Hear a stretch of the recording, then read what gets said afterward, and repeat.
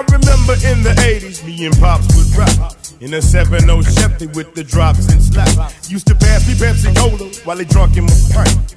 Tipping through the south side, running a light. Used to have me up in third ward, checking his tracks, collecting his scratch, protecting his snaps. Used to always tell a nigga, keep your mind on paper. Bitches in your ear, you keep your eyes on paper. Cause a nigga's definition is a killer for scratch. You kill a motherfucker, you kill him for that. You got caught up in the shit that meant you fucked it up. Old man was spitting game, so I sucked it up.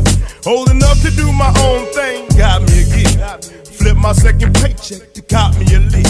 Went and seen my homie Show Dog to slide me a track. Went to Macy's Pawn Shop, got me a gap. Didn't know this crack shit, I got my uncle to cook. With my eyes on my paper, I just fumbled and looked impatiently, waiting for the see you rock from oil. Put my work up on the table and it's starting tonight. Time for me to bring Brad Jordan to life. Set my ass up on the corner till it started to bounce. Clock scratching, restacked, and started to out. It wasn't long before I was going for nine.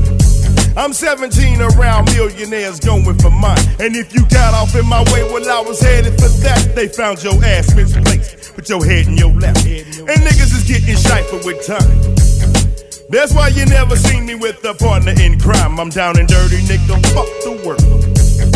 And that's what separated the ghetto boys from girls. Come on.